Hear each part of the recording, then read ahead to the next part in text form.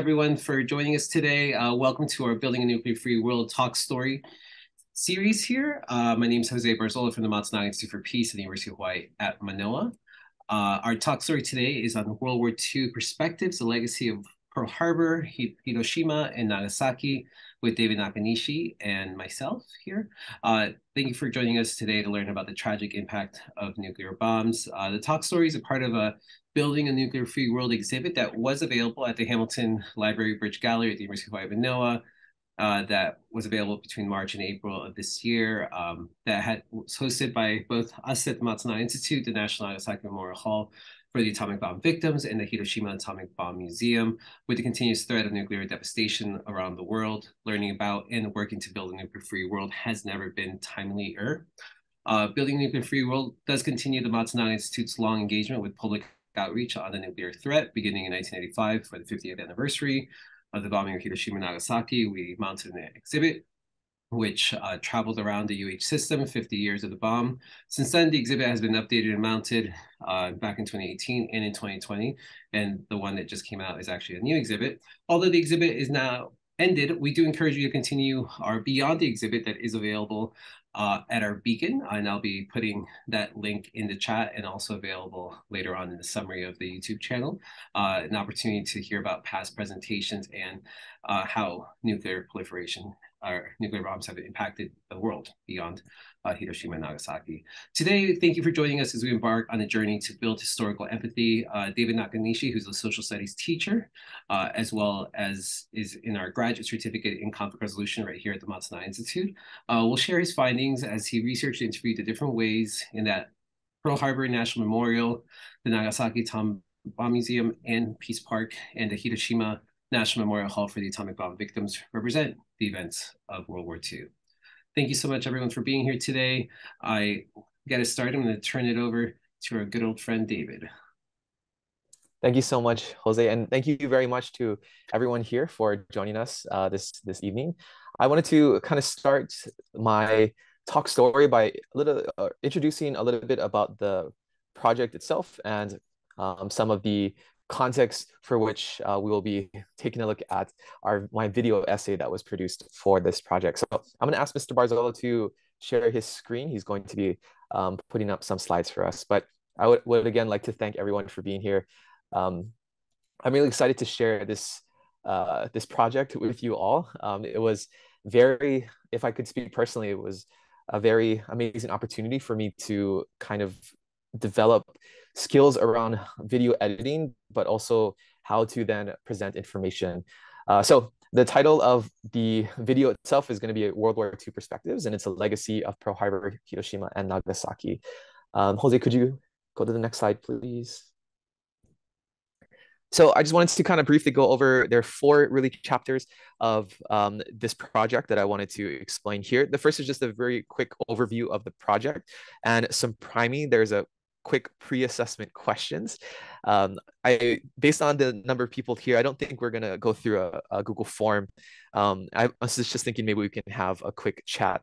Uh, and then I wanted to explain a little bit more about the methodology of the project itself, and then present the culminating project. And after we watch the culminating project, which is um, a video that is about 20 minutes, I'm hoping to have a discussion and go through some reflection questions uh, with you. So um, Jose, if you don't mind heading to our first slide. So the first part here is going to be the overview. Thank you, Jose. So I do want to say that this project was inspired by Dr. Brian Hallett. Um, unfortunately, he's not here, but he did encourage me to reimagine my original project proposal, which was to develop a video essay, but instead of talking about the monuments, the Pearl Harbor National, National Memorial, the Hiroshima Peace Memorial Park, as well as the uh, Hiroshima Peace Memorial Museum and the Nagasaki Atomic Bomb Museum and the Nagasaki Peace Park. Um, he, I, I originally had an idea of collecting the curriculum from the different places or different schools here in Hawaii and several schools uh, or in Japan and providing a video analysis of the curriculum in these respective cities. Unfortunately, with the, that project, uh, the scope of the project was a little too big for the turnaround time in this this semester um, class. And going through information from the different cities in Japan is actually, we found, or I found out very quickly um, in the beginning of this project, uh, that the information from these different cities are tremendously different because uh, these cities in Japan essentially get to decide on the curriculum themselves. And so each city could have their own textbooks and information. Uh, well, here in Hawaii, um, it's a little bit more standard. We have uh, content standards that are um, not necessarily mandated. It depends on the school itself, but the state, uh, the Department of Education does have these set content standards at each grade level. And so the teachers generally have um, the same kind of content that they go over as they teach uh, World War II history. But um, through talking with Dr. Hallett, he encouraged me to then reimagine this project. So the project itself now captures the video or it's a video essay that captures the experience of visiting these different memorials. So again, the Pearl Harbor National Memorial, the Hiroshima Peace Park and Hiroshima Peace Memorial Museum, and the Nagasaki Peace Park and Nagasaki Atomic Bomb Museum. Before we get too far too, I also wanted to acknowledge that throughout the research, one of the uh, the things that I, I learned through this is that the peace uh, or the Hiroshima Peace Park is a separate entity from the Hiroshima Peace Memorial Museum, and same with the Nagasaki Peace Park and the Nagasaki Atomic Bomb Museum. So they're uh, still they are managed and operated by separate governing uh, uh, organizations, but they are still the uh, they're still kind of owned by their respective cities. So it was kind of interesting to go through this project and understand that although these um, institutions work very closely with each other, they're not necessarily able to comment on the work of each other because they are um, uh, technically um, separate entities. So um, it was it was very interesting to collect some of this information. I'm excited to share that with you. Uh, the purpose of this research was to gather these perspectives from the national monuments because these are largely the uh, the ways in which the different places communicates the perspectives of World War II. And so the Hiroshima Peace Park and the Hiroshima Peace Memorial Museum, as well as the Nagasaki Peace Park and Nagasaki Atomic Bomb Museum and the Pearl Harbor National Memorial, they see millions of visitors every year. And so it's one of the largest or one of the um, the most common ways of communicating World War II history is through visiting these sites. And so the hope of this research is then to evaluate the efficacy of this communication between these institutions and their visitors. An integral part of positive peace is nuclear nonproliferation. And I'm hoping that through this project, I can share the ways in which these monuments communicate the story of World War II history, uh, World War II and its history, and how that is represented in their um, monuments and museums, and I'm wondering how that then can affect the way that respective visitors can understand those parts of history. So I hope to share this video with you. Uh, and I also hope to share it eventually with the respective staff members of these monuments so they can also better understand how World War II history is being communicated um, internationally. Um, Jose, do you mind heading to the next slide, please? So I wanted to start with this quick, uh, quick pre-assessment, and I'm hoping that some of us feel confident and comfortable uh, with adding some um, things to the chat. The question that I would like you to um, add to the chat, but if you're not comfortable, uh, please do not feel pressured right now. But I'm wondering if you can at least start to think about what do you think the purpose of historical monuments such as Pearl Harbor National Memorial, um, what is the purpose of these monuments and what are they trying to communicate? So I want you to just think about that. If you are feeling brave enough and courageous enough, I would love to see some thoughts in the chat. But if not, we're going to move forward um, with the second question, which was, can peace be taught? And if so, how?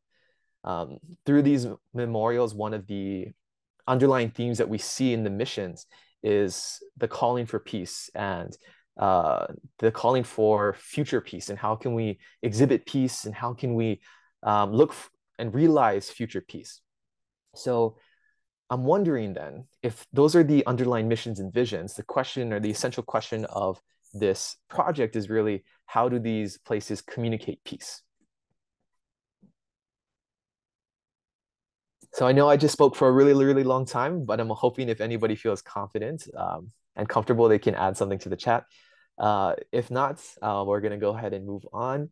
As a teacher, I'm quite uh, familiar with the Zoom silence when we first started uh, teaching um, teaching virtually. It was always kind of this this like uh, no man's land of when do when do teachers continue on? How do we uh, understand the Zoom silence? So uh, we've kind of developed the, this practice of kind of, you know, talking through our thinking in order to kind of stall to provide space for people to answer. All right, thank you so much, Tutu. I really appreciate that. I also just want to let the audience know uh, if you happen to be, for whatever reason, on a device where the chat is a little complicated, uh, feel free to unmute yourself. Uh, you are able to do so, and uh, you can also just share some words that way as well. Absolutely, memorials are remember um, are to remember the events that take place. Yes, and we definitely want to learn about the these events here and peace. I believe I agree with that. Yeah, that peace can be taught through perspectives and beginning discourse. And I'm I'm really hoping that through this project we can begin a discourse around what information is presented. Well, thank you very much, Tutu. I'm hoping that we can have a further discussion afterwards. Um, Jose, if you don't mind. Oh, Mia, thank you so much. All right. Peace can be taught more clearly through these memorials by giving visitors as close to a firsthand experience as possible so that they can understand the events. Very, very true, right? We want to provide them with as accurate of these firsthand experiences as possible to really allow visitors to build what we call historical empathy, I think. Um, and that's a concept that we teach in uh, social studies classes. Um, it's built around the Stanford History Education Group's philosophy of uh, reading like a historian. And the idea behind historical empathy is um, by taking a look at history, we need to understand that we cannot judge history by modern norms and seeing historical events and historical eras in the light of the context that it's, it sits within. All right. Thank you very much to everyone who is contributing here. I really like to continue to think about these as we uh, watch the video and hopefully we can have a further discussion afterwards about the uh, the ways in which these monuments communicate peace. Jose, would you mind heading uh, um, taking us to the next slide, please? Yes, I just, uh, in case you missed that last one, there was also a comment about, yes, peace can be taught with nonviolent communication, multifaceted yes. storytelling, navigational leadership, uh, your work to build empathy and reduce us, uh, them, us dash them dichotomies is so important. So just absolutely throw that out there as well. But yeah, it's like methodology. Yep. And so I wanted to talk a little bit about the methodology here. Methodology. So I do want to preface this by explaining that through the course of this project, I immediately understood, I immediately realized that there's so much information to capture here. And we could have an entire years long course going through some of this information. And so it's really, I think it is impossible to uh, to synthesize this information and water it down to a 20 minute video. Um, and when I was initially creating the the video project, I did want to try to keep it between uh, 10 and 15 minutes in order to capture or at least keep people's attention, especially if the point was to send this out to different um, places, uh, to the different monuments, because the shareability of the information is equally as important in the content of that information in this case. Um, so the information that you'll see in this, uh, this video is definitely not going to tell us the entire story of that. And so, um, understanding, I think, reflecting on the methodology of this research, um, I would want to, if I could repeat this project, I would definitely want to separate these ideas into, I think, a format that communicates information more efficiently. So that could just be an article. It could be, uh, it could be maybe some uh, uh, I'm thinking interactive maps where people can click through different links. Um, unfortunately, the video can only capture um, information at one time, and that was uh, something that was a barrier, I think, to I think the overall um, impact of this project. However, I do want to say the information gathered for this project involved individual research and asynchronous interviews via short response questionnaires I reached out to staff members and experts from the different national monuments with set lists of questions that elicited responses about their missions, their funding, their curating protocols, and other data about the institutions themselves. And so this information was then corroborated with the photographs and videos collected from the visit um, or my visits to each location, along with the publicly available information that can be found on their respective official sources um, for these institutions. So again, um, going through this information, one of the things that came up clearly in the research was the concept of selective presentation. And in these national monuments, they are clearly selecting what information they share to the, the audience. And I was hoping that through this project, I would then share how these places are selectively presenting that information. And I hope, I, I believe, I truly believe that my project still achieved that goal. But the irony is that in creating only a 20 minute video, I'm also selecting and presenting uh, certain information. So that was the irony of the research that I, I noted early on. And so that was one of my early reflections. So in terms of the scope of this project, the information I evaluated in this project barely scrapes the surface of these historical perspectives. And it's no secret that more in-depth uh, research can improve upon this project. All right, thank you, Jose, if you don't mind moving on. So with that context, I'm hoping that we can watch this video. Um, because it is being presented over Zoom, the audio might not come out very clearly. So if you don't mind um, bearing with us as Jose and I try to get this set up for you. Um, but it might be helpful if you could listen through headphones if that is available to you. If not, um, we should still be able to communicate uh, some of this information.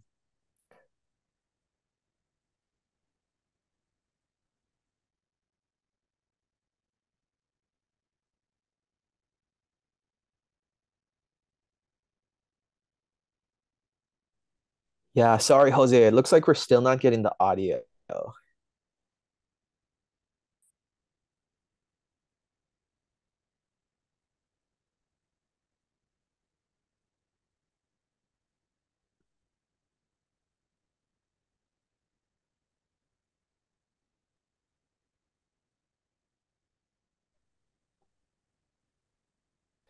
Sorry, Jose. Still not. Still nothing.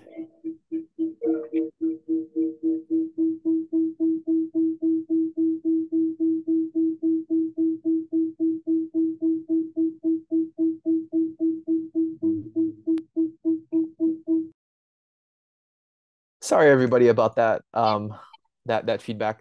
Um, and sorry, uh, Jose, I just I just muted you for the the feedback loop that we were receiving.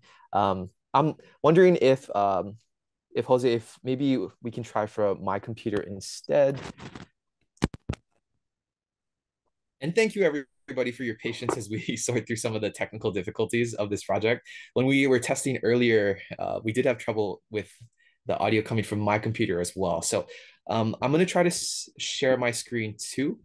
Um, I'm hoping, and maybe Jose can give me a, um, a thumbs up if the information is coming through.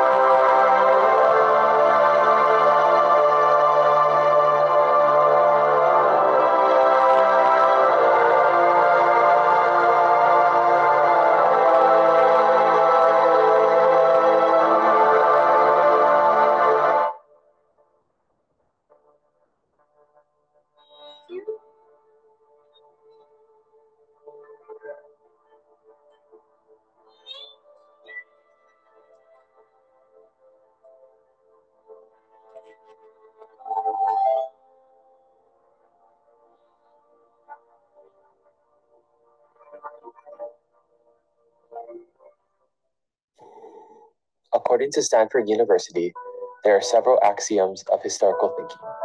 First, history is an account of the past. Accounts differ depending on one's perspective. We rely on evidence to construct accounts of the past. We must question the reliability of each piece of evidence, and any single piece of evidence is insufficient to build a plausible account. These key ideas pose a critical question.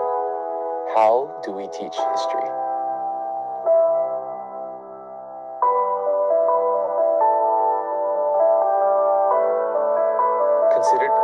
First historian is a Greek writer named Herodotus. He is widely known for his writings about the ancient Greeks and for documenting the epics of the Trojan War.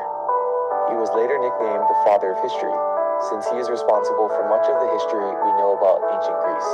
Yet, even this idea is controversial. Was Herodotus really the first historian? Faustino Mora from Brown University can be quoted He is remembered as being arguably the first historian ever. But this leaves room for interpretation and analysis.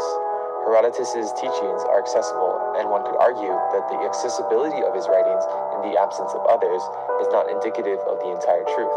Around the world stand structures of human intelligence, culture, beliefs, and ingenuity. Yet these structures are merely reflections of the respective values of these societies and does not provide historian with all perspectives. As evident in the opening sequence of this very video, the presentation of specific perspectives in history can evoke certain emotions, but that doesn't necessarily capture the entire truth. The perspectives of World War II and the use of the atomic bombs can be emotionally charged topics.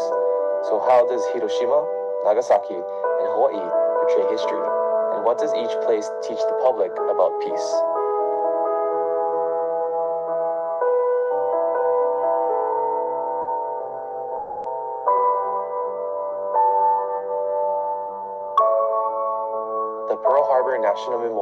Located in Joint Base Pearl Harbor Hickam on Oahu in the state of Hawaii.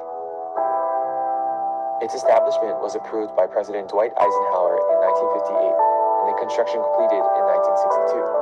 Management was originally the responsibility of the U.S. Navy. In 1980, these responsibilities were turned over to the National Park Service. 28 years later, an executive order passed on December 5th of 2008 to establish the World War II Valor in the Pacific National Monument which directed the National Park Service to manage the USS Arizona Memorial, USS Utah, and USS Oklahoma memorials, six officer bungalows, and three mooring quays, part of Battleship Row. Most recently, in 2019, the National Park Service redesignated the World War II Valor in the Pacific National Monument to the Pearl Harbor Memorial. According to the National Park Service, the Pearl Harbor National Memorial and its partners preserve, interpret, and commemorate the history of World War II in the Pacific from the events leading to the December 7, 1941 attack on Oahu to peace and reconciliation. Perhaps the most well-known destination at the Pearl Harbor National Memorial is the USS Arizona Memorial, which is built over the sunken remains of the USS Arizona battleship. It is also the resting place for many of the 1,177 crewmen killed on December 7, 1941, when the ship was bombed by Japanese naval forces. According to Pacific Historic Sites, this loss represents over half of Americans killed during the worst naval disaster in American history. The Arizona Memorial sits atop the sunken hull of the USS Arizona. It rises 21 feet high as its gleaming white frame sharply contrasts the blue water of Pearl Harbor. Visitors must take a ferry to the memorial and enter through a darkened hall to emerge onto a sunlit deck. Visitors can see both the bow and stern of the ship, while an opening towards the west end of the memorial provides another view to more of the sunken vessel. Finally, at the end of the memorial is a wall of marble stone listing the names of the 1,177 men who were killed during the bombing of Pearl Harbor on the USS Arizona. The exterior of the memorial is also symbolic.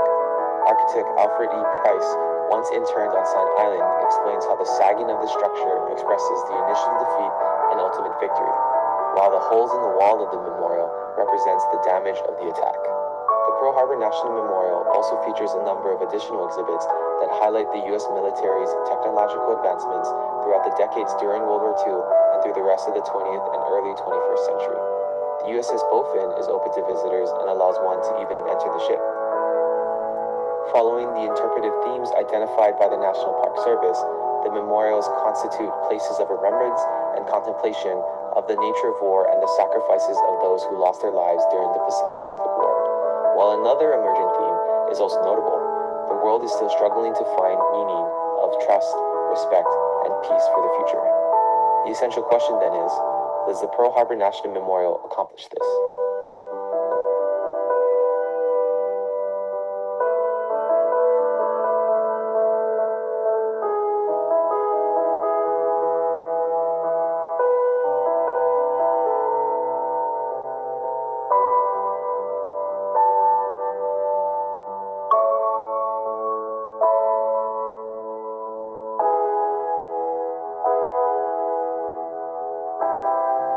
6, 1945, an American B 29 bomber dropped the first atomic bomb in human warfare over the city of Hiroshima, where it detonated with a ferocious blast that killed the inhabitants of the city. Today, the Hiroshima Peace Memorial Museum now sits a few hundred meters from the hypocenter of the atomic bomb that exploded in 1945 in the city of Hiroshima in the Hiroshima Prefecture. In 1949, the Bill of the Peace Memorial City Construction Law is passed, allowing Hiroshima City to be rebuilt as a city symbolizing the pursuit of lasting world peace. And two years later, in 1951, the construction of the Peace Memorial Museum begins. Over the next 70 years, the museum has went through its share of renovations, including to both the main and east buildings. The purpose of the establishment of this museum is defined in Article 1 of the Ordinance of the Hiroshima Peace Memorial Museum, which says, Hiroshima Peace Memorial Museum shall be established to convey to the world actual facts of the atomic bombing and to contribute to the abolition of nuclear weapons and the realization of lasting world peace. Today, the Hiroshima Peace Memorial Museum is owned by the city of Hiroshima, but is managed and operated by the Hiroshima Peace Culture Foundation. These entities take great steps in order to uphold the high standards of the museum content. For example, the museum curators must hold a national certificate, and items must be authenticated through these museum curators. The museum is separated into two distinct sections main building featuring artifacts and belongings of the atomic bomb victims, and the east building featuring the history of Hiroshima and the dangers of nuclear weapons. The Hiroshima Peace Memorial Museum sits within the larger Hiroshima Peace Memorial Park, which also features the symbolic A bomb dome, a building that survived the initial blast of the atomic bomb. The Children's Peace Monument, a statue erected to mourn all of the children who died from the atomic The pedestal of the Flame of Peace was designed to suggest two hands pressed together at the wrist and bent back so that the palms point up to the sky. It expresses condolence for the victims unable to satisfy their thirst for water, as well as the desire for nuclear abolition and enduring world peace. The flame has burned continuously since it was lit on August 1st, 1964. It symbolizes the anti-nuclear resolve to burn the flame until the day when all such weapons shall have disappeared from the earth. The city of Hiroshima notes 57 different monuments and locations in the Peace Memorial Park, which cannot all be captured here, but more information can be found by visiting the City of Hiroshima's website. Many of these locations feature additional artifacts or monuments dedicated to atomic bomb victims or symbolize peace. These monuments and locations tell the story of the atomic bombing. So, does the Hiroshima Peace Memorial Museum convey to the world actual facts of the atomic bombing and contribute to the abolition of nuclear weapons and the realization of lasting world peace? This question, along with others, would require further research and surveying.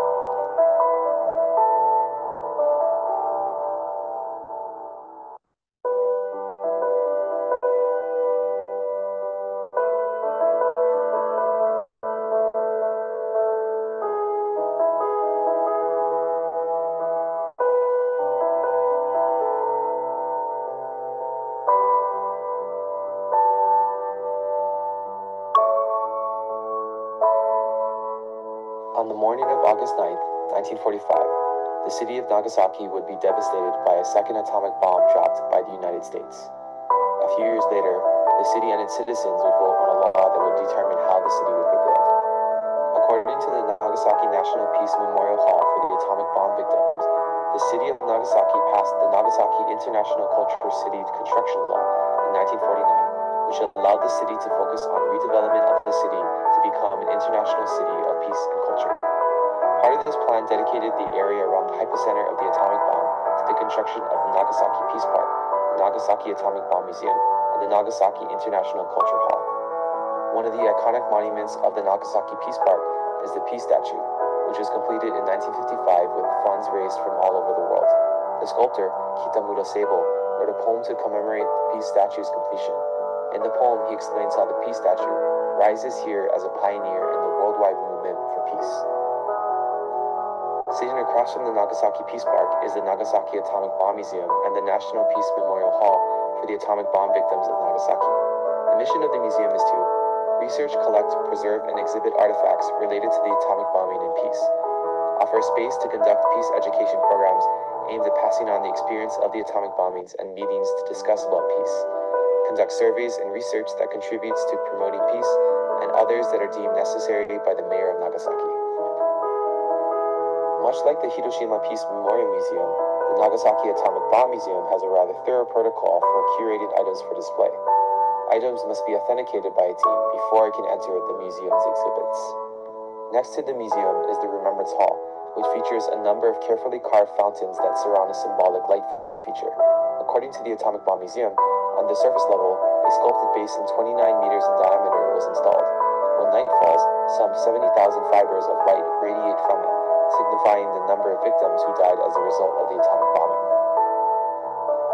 In addition to the iconic Peace Statue and Remembrance Hall, the Nagasaki Peace Park features several different pieces of art that have symbolic meaning. For example, the Nagasaki Peace Fountain spurts water up to 6 meters and forms a pattern of a dove of peace. Other pieces of art can be found throughout the rest of the park and also feature a recurring theme, the calling for peace. There are too many pieces to cover for this video here, but more information can be found on the Nagasaki City's website. As with the other national monuments, the Nagasaki Atomic Bomb Museum and Peace Park tell a perspective of World War II and nuclear weapons. So, do these monuments, artifacts, and sculptures exhibit the atomic bombings and peace?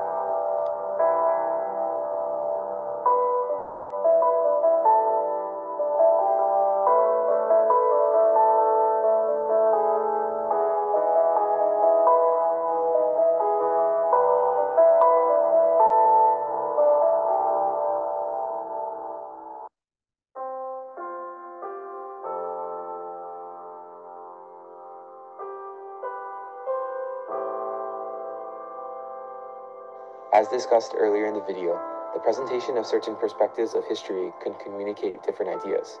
While each monument allows for guided tours, there is no preset route a visitor must take to visit each museum.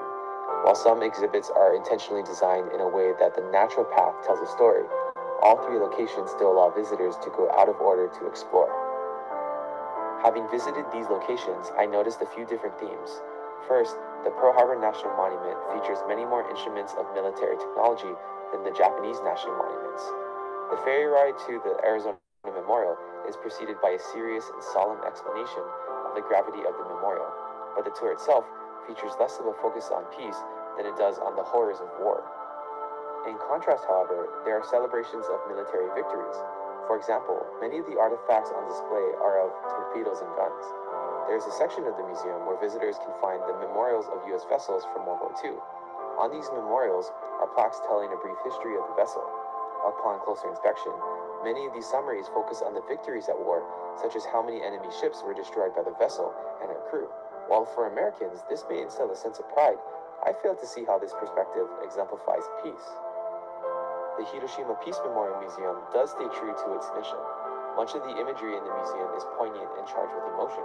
In fact, reflecting on this experience, the lack of footage I took from the Hiroshima Peace Memorial Museum is a testament to my personal bias towards the content, that the museum conveys the egregious consequences of nuclear weapons through graphic imagery of the bomb's aftermath, imagery that is too graphic for me to share openly. In a way, this proves to me that the museum does convey to the world actual facts of the atomic bombing and contributes to the abolition of nuclear weapons and the realization of lasting world peace through the explicit use of this emotionally charged imagery. Most interestingly to me is the mission of the Nagasaki Atomic Bomb Museum. The mission is quite simple research, collect, preserve, and exhibit artifacts related to the atomic bombing and peace.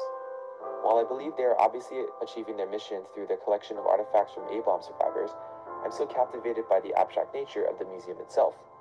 Unlike the other two national memorials, the Nagasaki Atomic Bomb Museum and Peace Park feature more abstract art fixtures that tell stories.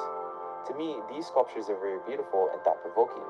But a limitation I notice is the accessibility to the historical facts. The Peace Park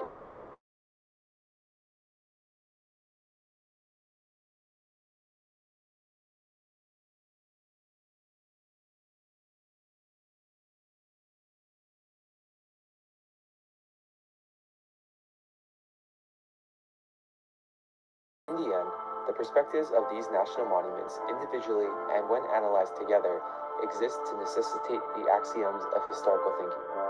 History is an account of the past. Can differ depending on one's perspective. We rely on evidence to construct accounts of the past. We must question the reliability of each piece of evidence. And finally, any single piece of evidence is insufficient to build a plausible account. To conclude, I would like to return back to the essential questions of this video. How does Hiroshima, Nagasaki, and Hawaii portray history, and what does each place teach the public about peace? All three of these national monuments capture dark moments in human history and the unimaginable suffering and loss of life.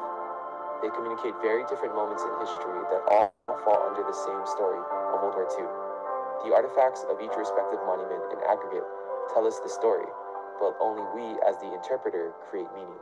So, what did these monuments teach you about history?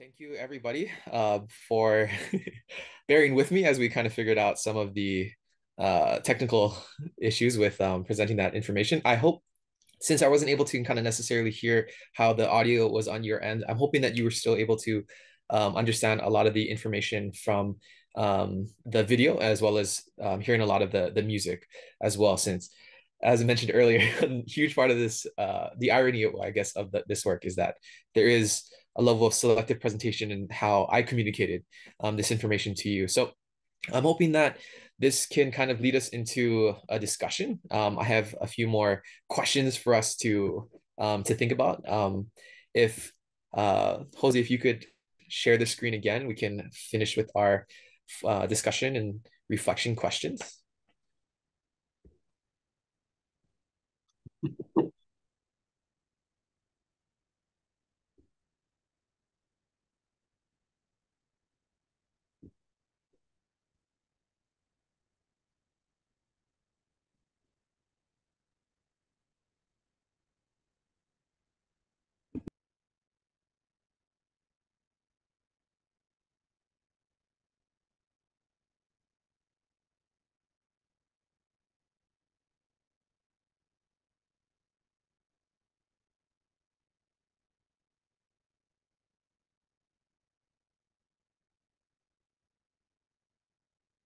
Hmm.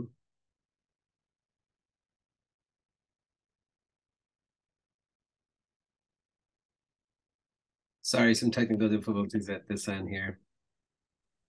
No, thank you so much for helping um, present this for me, Jose. I really appreciate all the.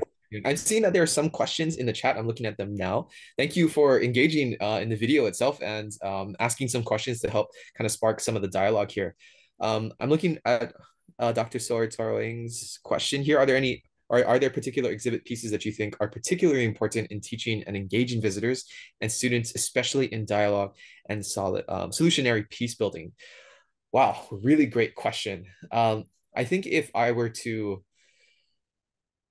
I guess I don't know what the best verb here. I apologize if I'm I'm losing um, my thoughts. Um, I think the I guess marquee. maybe that's definitely not the, the best word to describe this, but uh, the more iconic um, USS Arizona Memorial um, at Pearl Harbor is obviously uh, a very emotionally charged place. Um, the National Park Service staff they do an excellent job of communicating the gravity and the magnitude of the memorial itself before you get on the ferry out to the memorial, and the memorial itself is absolutely powerful and just in the way that it's presented and the natural path that you must take um, in order to see the entire um, the entirety of the the monument. And especially when you get into that back room to see the 1177 names um, just a, a very for me it's a very emotionally charged moment. Um, to speak on a more personal note there is a there is one of my own family members um, that's listed there. So every time i walk in my my eyes immediately go to that top section um, where his his name is.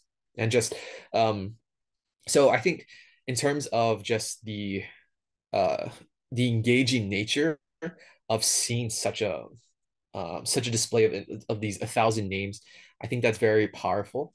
Um, in terms of the other museums the nagasaki uh, museum does or sorry their peace park there is uh, there's a monument and the name of it is escaping me and i apologize that it's escaping me.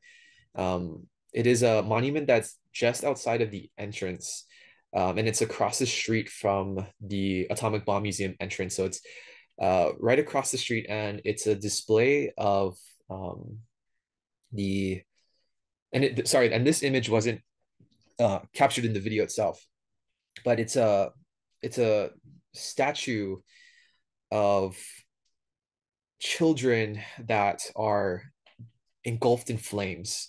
Uh, and so it's a very, or the the nature of the the the sculpt the statue and sculpture is very grotesque, but the idea that's communicated there is just the how horrible the atomic bomb was to the people of the city, especially the children. And so that imagery is very very powerful.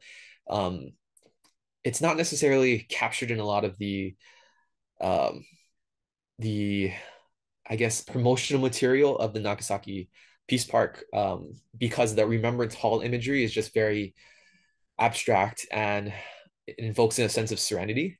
Um, so in that case, it's also very powerful to see. The Remembrance Hall sits atop of that that basin that you saw in the video itself. Um, I had kind of those panning shots of um, kind of that teal structure. Unfortunately, going into this this project, I realized the camera that I was using was not great for capturing um, any of the memorials at night, and so I wasn't really able to capture that monument that um, that, that, in, that you saw in the quote radiates the seventy thousand um, fibers of light. Uh, but that structure itself, um, according to the Nagasaki uh, Peace Memorial Hall for the atomic bomb victims, it sits literally a few hundred meters from the hypocenter. So it, it was its uh, location was intentionally constructed there. And I think once you understand the context behind that, that is a very powerful, um, I think, imagery to have because you're the again the dichotomy here. You you are going to the museum and you're seeing these these uh, the graphic aftermath of the atomic bomb use um, and just the destruction that it left in Nagasaki. And then you are sitting outside of this this fountain that has a very beautiful and peaceful um, kind of um, atmosphere to it. So I think that is also a very very powerful uh, place to to visit. Um, and in I, I guess finally the Children's Memorial. If I'm specifically thinking about engaging students, the Children's Memorial at the Hiroshima Peace Park, I think also kind of achieves that um, in the way that it's, I think, difficult for at least in terms of when I teach in history, it's I think very difficult for students to uh, develop any historical empathy for these people because they're so far removed from them. But seeing the Children's Memorial and especially seeing um, there's like an intersection, there's a there's a bell in that monument, and there's a area where you can kind of see more of the um, the cranes that other children are donating to the museum. You can see how um, how important uh, and significant this event was to Hiroshima uh, city and how many people value looking towards peace uh, moving forward. I'm sorry, I feel like this was a very long-winded answer. I'm realizing as a teacher, I kind of like jump into this once we get to like historical content. So I'm actually gonna stop talking. Um, maybe I'll I'll jump in when we're kind of going through some of these responses. But I I really want to honor our time here. So I was hoping we can get into the discussion now. Which um, Jose, thank you for being very gracious. Um, please feel free to interrupt me with as I go through uh, these diatribes. Um, if you wouldn't mind helping me move on to the discussion questions, there's a first one here. Um, and the, the first question is really, um, it's geared for you as the audience. Uh, I'd like you guys to, or I'm liking the audience to really think about, after we've watched this video, what did these monuments teach you about history, specifically the history of World War II? Um, I'm hoping we can respond in the chat. Uh, but I'm also I um just really quickly while uh folks are kind of mulling over this question and engaging in the ch chat, I do want to recognize some other folks who previously uh made some comments about um uh you know we must remember there is no pride in the war. Um, there thank you for sharing the intricacies of these memorials. Uh, someone said that viewing from above, seeing the ship below the surface and the memorial above it grips her heart every time. Uh, the stark reality someone else mentioned about yes being able to see the ship below your eyes and clearly picture what happened on the morning of december 7 1941 is always emotional for them too especially thinking about how there are still many people who were on their arizona that morning still trapped inside. Um, and then they suggested to oh um, someone also referenced the museum of holocaust victim shoes and luggage. Uh, so yeah Thank you. Thank you. Uh, this is uh, honestly, uh, I have to say thank you so much for all that you've brought to us so far and uh, how engaging this topic is and just uh, uh, um, but yeah, I, I want to go back to your discussion. What did these monuments teach you about history? I don't know if anyone in the audience, you're also welcome to unmute yourself. Um,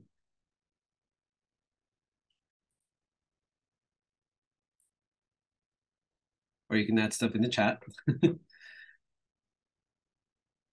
I will say, um, so David, just uh, as folks are kind of, because I've noticed our community tends to, and very appreciative for their thoughtful reflection. So mm-hmm. um, you delved into like three really, you know, areas, kind of pivotal portions of World War II here. Yes. Um, it, normally, it's not easy to just process one at a time. And I know you didn't do it like one after the other. It was over like a few months. Um, but it's a lot. It's a lot to process. So um, as you talk about, you know, further research that can be done, you know, you, mentioned that in your video. You you, meant, uh, you also kind of spoken about it briefly. Uh, what kind of words of wisdom do you have for folks who want to kind of, you know, they themselves want to go on this journey of, you know, visiting Pearl Harbor Visitor Center, visiting Nagasaki and Hiroshima? Um, any guidance on self-care or things to prepare you it's it's a lot. That's a very great question jose. Thank you. Um i guess to prepare yourself how did you prepare yourself? How did i prepare myself? Well in terms of the research, and I'm sorry, I'm not trying to work around this answer. In preparation for this research, it wasn't my first time being at any of these locations. Um, when I was in high school, I had the opportunity to visit both um, the Hiroshima Peace Park and uh, the Hiroshima Peace Memorial Museum, as well as the Nagasaki Atomic Bomb Museum and the Nagasaki Peace Park. So it wasn't necessarily my first visit to those places, although I will say that my first visit to those places was very emotional for me. Um, I did not share this in the video, um, but my family does have specific, uh, there's connections to the city of Hiroshima um, and very personal connections there. And so it was very tough being there the the few times that I have gone, um, and knowing how I felt in those times helps me to kind of really have to prepare myself mentally um, going into the museum um, for the third time uh, in order to conduct some of this research.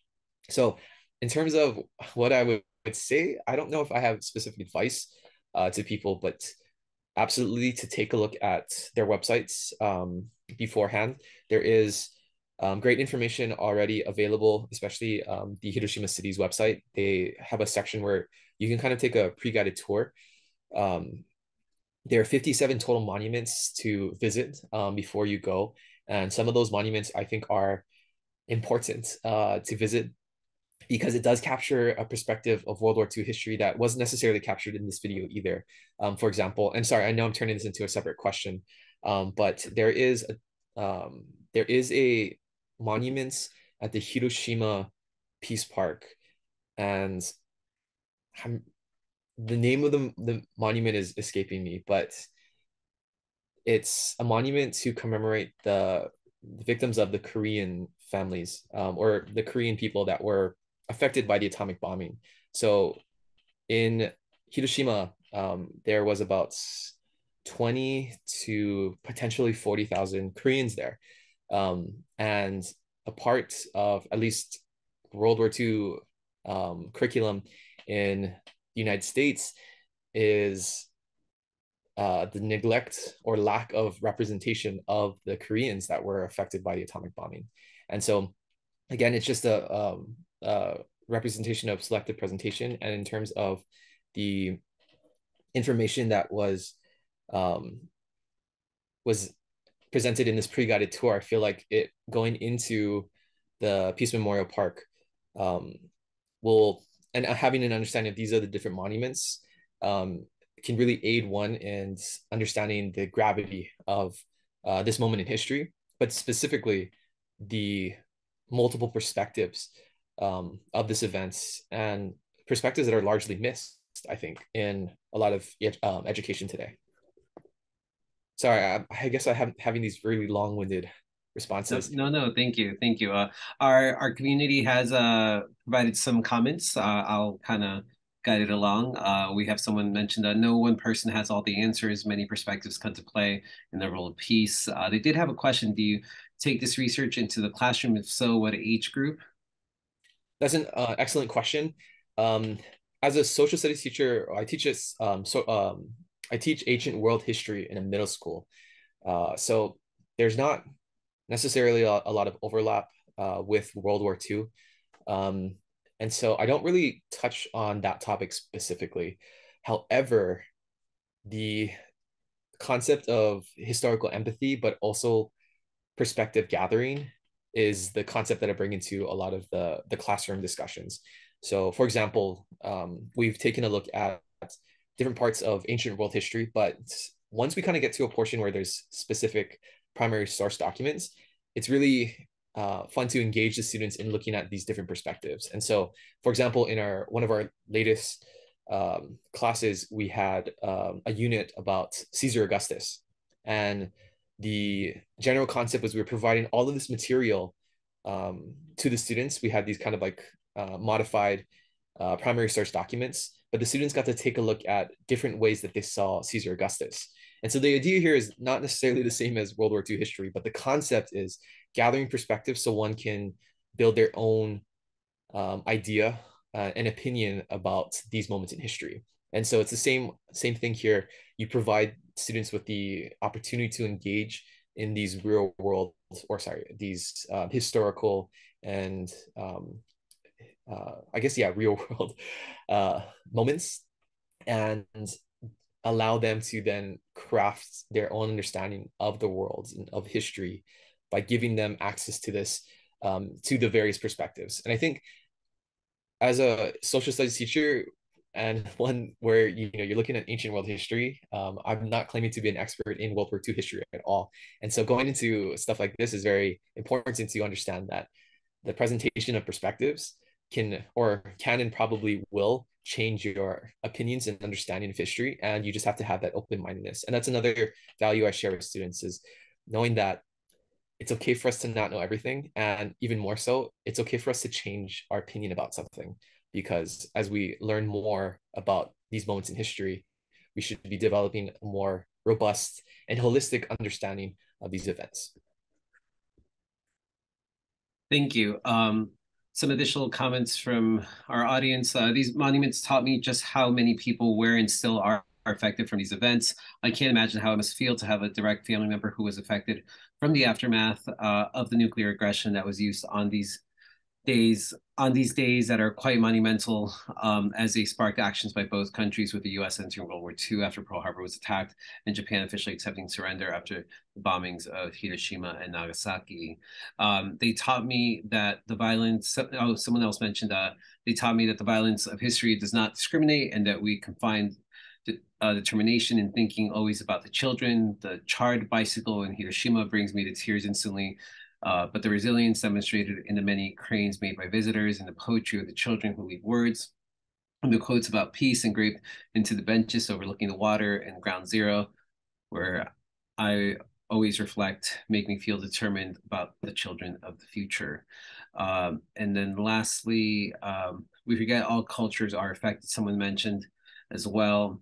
Um, and uh, yeah, I mean, I just uh, honestly for myself, what these monuments taught me about history, it's it's um, like like a lot of this, it's it's very selective. It's one perspective. Um, it, in in my mind, it's always been like what isn't being represented, and, and you you kind of alluded to a little bit about that. And so um, I hope as you know time has gone on, I think um, I like to think we're moving in the process where we're uncovering history a little bit more. Although, yes, there are, you know, a little bit of pulling left and right and, and some division across the board of uh, books being banned and history being rewritten. But uh, just got to believe in the human spirit that we are on the right path, especially, I mean, comparing to like, you know, where we were a century ago, at least. So, um, I, am not sure if you have additional questions. Uh, uh, do you want me to go on to the next one? I do have additional questions. I do want to be uh, cognizant of the time and I want to um, honor um, everybody for being here. Thank you again very much for to for coming to to join this talk story and to uh, really uh, allow me to present some of this information. I hope that you um, got something out of uh, this this video as well as um, our discussion. Um, there were two more questions I'd like to go, or like to be able yeah, to talk. We, we can do that. Was I'm not sure if we have time. I I I, have time. Uh, and I, I imagine if folks uh can't be here, they they can always catch the recording or they'll join us. So I would say let's just uh, continue on maybe another like 10, 15 minutes and uh, do these national monuments communicate peace? Yeah, so to give us context again, um, many of the, or these three memorials have some section in their mission or vision about um, protecting peace or realizing peace or finding peace or exhibiting peace. And I, I mean all of these action verbs are very i think intricate in their own way. But i'm wondering at its core can we or what ways do we communicate peace? So i guess the context for this question is do you feel like these national monuments communicate peace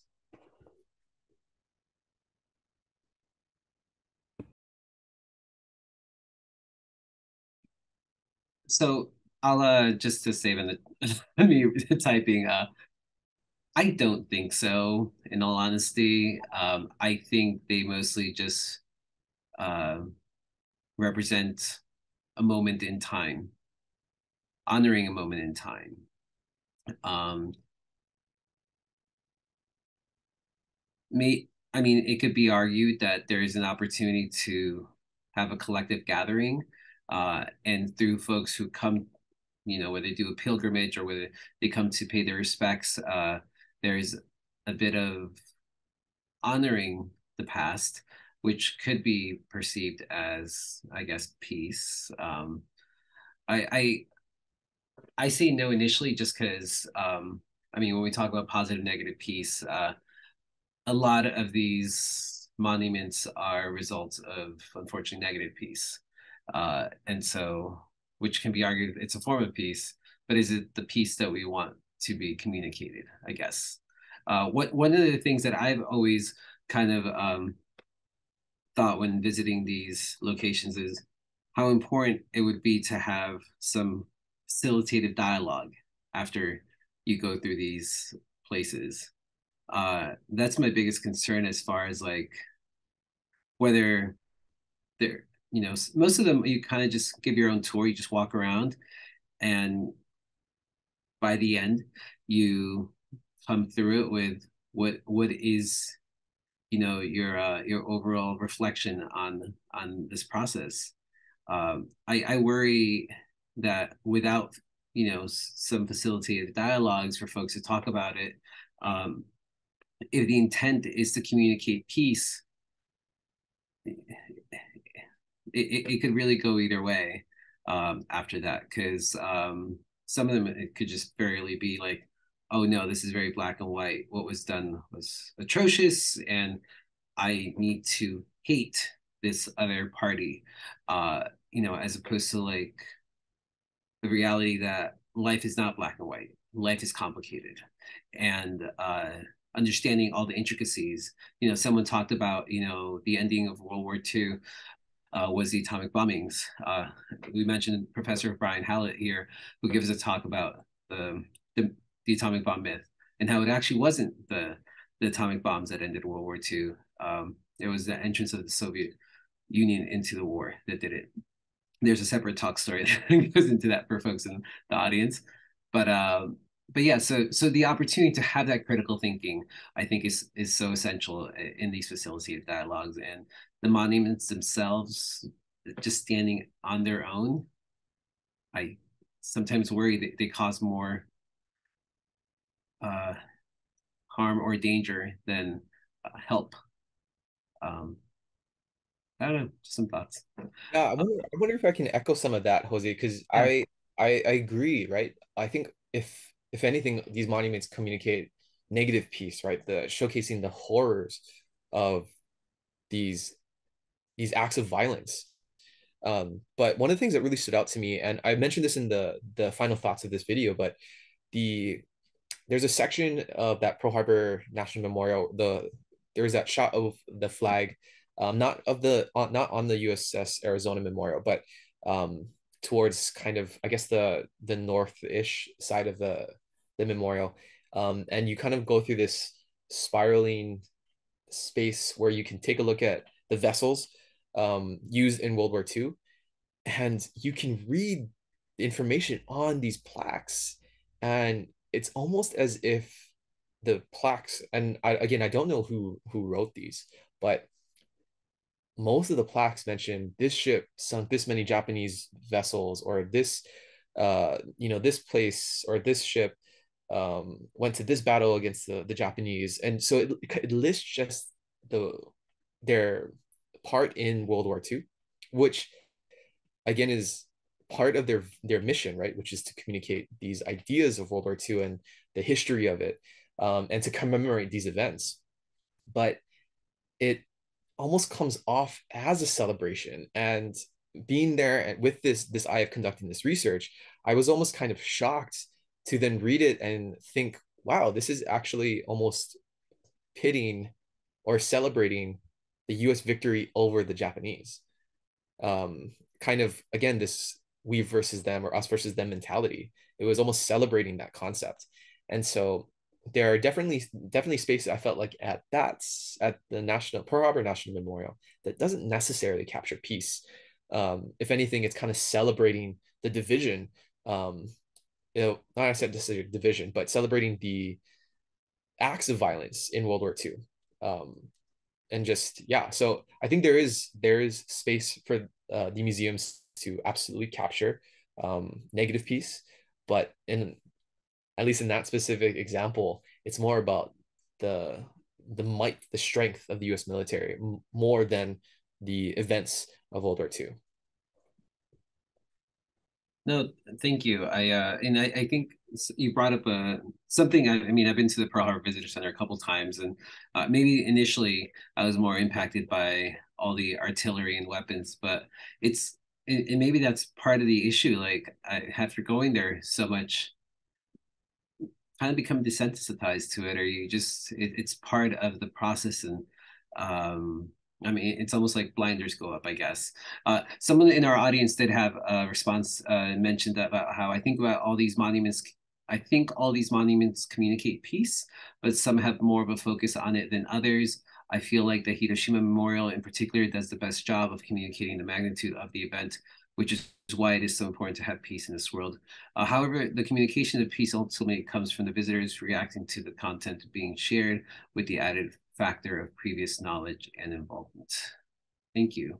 Thank you so much. That sounds like a very uh, teacher response. I'm not sure, but absolutely right. As a social studies teacher, this is kind of uh, one of the facets of um, teaching history. Right? We go in and per, like we just want to provide students with as many perspectives of an event as possible, but ultimately their previous schema on a certain topic uh, will largely drive how they're already thinking about a topic, and then more so the constructivist arguments um, uh, or view of um, education would suggest, right, that we can present them with this information, but ultimately they're constructing their own ideas and own views of these things. So ultimately, key uh, peace in terms, and when we talk about communication, is on the part of the listener, where in this case, um, or in I guess in this case maybe the viewer um, or visitor, but it's the person experiencing um, visiting these these places, uh, they're the person that can receive,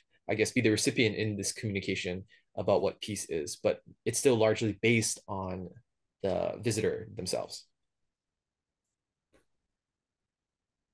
We have one more question.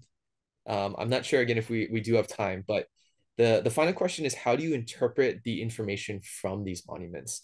And again, the, the context here is just we've or the video itself presents only again small portion of the events uh, or sorry of the the places. I think looking at the hiroshima part of my own you know this this own video essay i think i capture less than maybe a third of the actual monuments that are listed in their their website.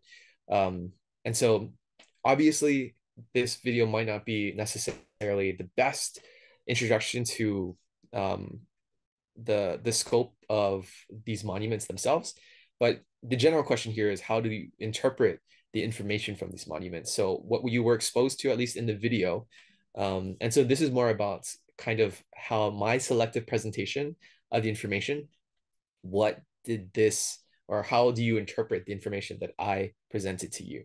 So that's another way of thinking about this question um, but uh, in general how do you interpret the information from these monuments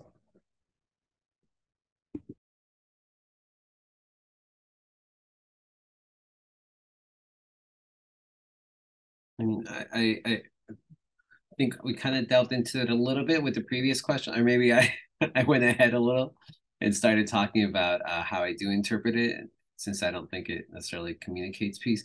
I mean, I think there's an interesting conversation around, especially uh, we we look back at uh, you know, uh, 2020 and the with here in the United States with uh, the George Floyd situation and the larger impact of a focus on monuments just in the United States and uh, and a push toward questioning and eventually taking down monuments that we have that you know celebrated um, uh, you know um, slave owners and other people in history who maybe that's not necessarily the way we want to be remembered or the things that we want around communities um, as things to honor. Um, I, so I think that in itself brings up a good question as far as like, monuments I feel as though are around to yes remember part of history, but simultaneously we are trying to it, it's a form of modeling. I mean, we we we want folks and, and it's it's kind of weird that we're we're choosing monuments for for our youth to look up to as opposed to the current folks who are around or or or just you know it's it's it's it's a piece of rock that's been shaped like someone. Uh, just the, the whole concept i mean if you think about it um um it, I mean, it's, it's symbolism. I guess that's that's the the artistic aspect of it. Um, but, in this day and age, I kind of wonder if it's the best way to go about it. I mean, I've been to a couple of museums where uh, they're engaging with digital media to en- engage in, so we get away from the monument. So it's something that can be constantly updated, and uh, so I, I think it's one thing to when it's some like a statue that gets created for. And then that's what i'm thinking of monuments as opposed to like artifacts from a situation that happened which i think that is something that i think um so i like walking through the nagasaki atomic bomb museum and you know the there was a rock that you see the bones someone's hand had gotten infused into the rocks because of the, the the, the levels of temperature, the heat from the atomic bombing. I mean, you're really trying to get a point across. I just don't, or, or there's those, um, the steps uh, uh, of a home in Hiroshima where you see the shadow. You know, all, all that's left of the person who was there is the shadow. Uh, I think, I don't think of those as like monuments. I think those as like artifacts from history and that to me is so much more impactful than you know building some statue that um, honors someone. Because you know history is constantly shifting and we're constantly updating as we learn about certain areas. So i don't know but i don't know. Oh we have someone from our audience.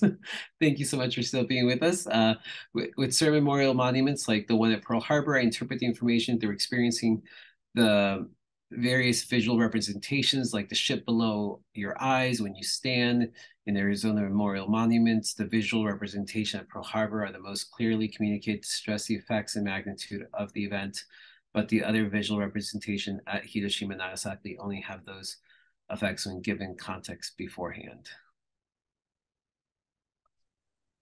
I totally agree with the, that comment. Um, the interpretive themes of uh, the monuments are, I think, particularly hard to to unpiece uh, and unpack um, right from the get go. I think in the Hiroshima uh, Peace Memorial Park specifically, I think the biggest, um, or I think the most relatable. I don't say relatable. That's not the right word to use. Um, the monument, I guess, in this case, that captures that is the atomic bomb um, dome, which you don't have the ability to to go into as a as a visitor, but you do get to see and you get to see the effect of the atomic bomb itself. Now, I think what contrasts that with the Pearl Harbor National Memorial is especially when you you go with the the tour, um, which I guess is not really a tour, but you have to take the ferry. So the National Park Service has a little bit more of an opportunity to guide your own journey through that memorial because they see you beforehand. And when they start off their either the video presentation or the the talk that they give you before you enter the ferry and they just explain to you that you're standing on top of a grave site um, that really helps i think visitors interpret the magnitude of the event itself um, whereas in nagasaki and I, I mentioned this in the video itself uh, obviously they have plaques and the plaques can help you understand the context but for especially students um, i don't want to speak for my students necessarily but um, if students are not given the express uh, instruction of making sure you read through everything that you see, uh, which again they still might not do. They'll they only expose themselves to the the visual representation right of these monuments, and so when you're at Nagasaki, you have these memorial well they're more monuments and statues.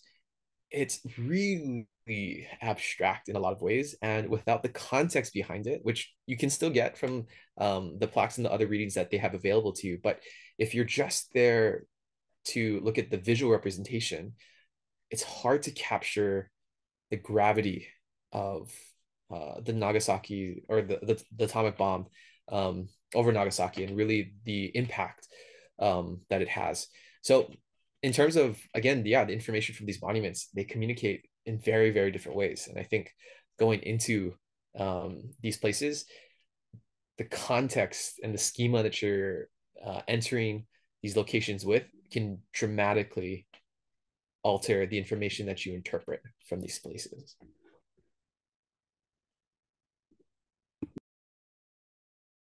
Thank you. Oh, we have some additional comments here. Um, with the other visual representations at uh, Hiroshima and yeah, in Nagasaki, thinking more about the monuments like the Children's Peace Monument or the fountain with the lights. I feel like the Pearl Harbor Memorial makes it the easiest to have the context beforehand without having to get it on your own through independent research school, etc. Pearl Harbor does a good job making sure everyone understands the context before going out, which makes the emotions felt while looking at it stronger compared to looking at the A dome. I will say just uh, to reiterate, I, I, I do when when I've been through Pearl Harbor, I I really appreciate that video that they have. Well, there's a video that they have that they have folks watch before you go on the ferry to get to the memorial. Um, unfortunately, things have shifted. So if you're in the right line, you get the video. If you're not in the right line, you just get a brief conversation. But even with the brief conversation, I I like that there isn't any specific blame placed on it. It's more just displaying the atrocities and of battle and the war um, as though I did not have that same experience when I went through the other two museums. Um, uh, so I think, um, yeah, it's a, and, and that's why I kind of refer back earlier talking about how important it is to have these facilitated dialogues, uh, just because and, and I think part of it's also a cultural difference, uh, and maybe in, in just in the upbringing, because like you know, we'll say that Nagasaki and Hiroshima atomic bomb museums, they tend to be uh, very visual in you know the details and the impact and and where the what's in that those museums if it has to be you know a, visiting exhibit here in the United States, there would be like so many like curtains for like censorship and or not censoring it, but like making you conscientious of please be aware of you know all these you know how these images may impact you that kind of stuff. There's there's a lot of uh, those um, words to kind of caution you where I didn't come across that when it was over there, but I think it's just part of the culture. Like you have school groups. It, it's part of like a pilgrimage. Like uh, I don't know. I, I got kind of get the impression that like every year they visit one or the other museum or maybe both. Um, uh, I also noticed uh, the students treat it more. It's, it's an assignment because they would walk around with or run around a little bit with their uh, one sheet paper where they're trying to find. It's like a scavenger hunt, trying to find the answers to the questions that are being provided by their teacher. So um, it's it's it's yeah so it's it's a I, I just try we talk about perspectives and lived experiences and trying to understand the other side so that hopefully you know we can find some empathy and compassion and and understanding and i um yeah so that's exactly what i'm just trying to do uh and, and it's been a very enriching experience uh uh just delving further into that. But anyways, David, I'll let you take it away. Sorry. Well, I was hoping um, to allow people to to talk like this. So thank you very much for everyone who uh, helped participate in the chat and um, commented on some of these uh, these questions.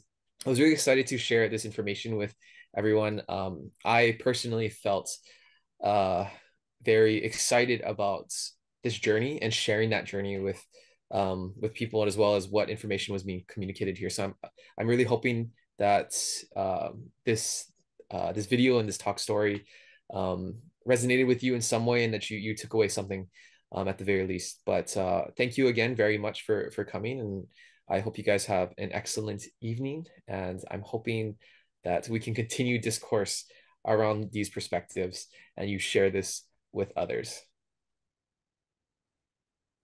Well, I just have to say thank you so much, David, for you know everything you've done here. Uh, beautiful job, just kind of you know I, I know it, it's not easy video editing and putting together basically uh, a documentary. Uh, I know you're modest and humble and would never acknowledge it as that, and it's just a project. But if down the road at some point you become a famous doc filmmaker, I can say that it all started here. so truly appreciate you opening up about your experiences, the lessons learned uh, to come to today's dialogue. Thank you for your kindness and leadership as we learn about, unfortunately, the tragic impact of nuclear bombs. Um, last but not least, thank you so much for our audience who still with us uh, for today's webinar. I Greatly appreciate you all. Uh, appreciate your interest and support in joining us to learn about building a nuclear-free world talk story. Thanks again, everyone.